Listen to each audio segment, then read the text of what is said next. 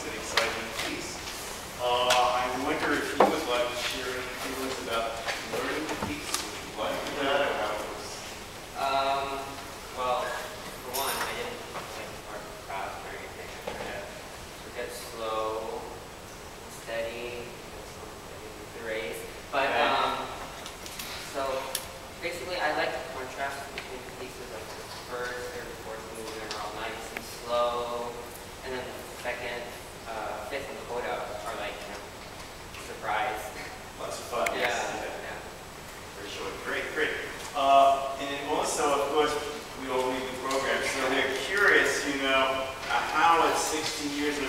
you are the youngest